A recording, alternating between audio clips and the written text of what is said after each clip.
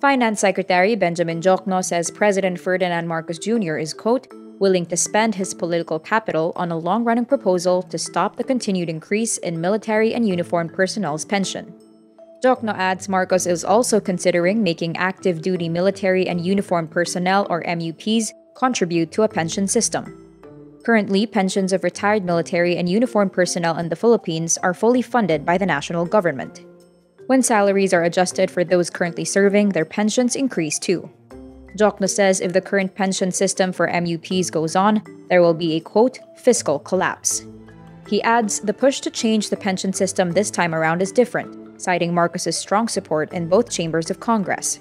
Diokno says the government spends more for military and police pensions than on the operating and maintenance expenditures of the armed forces.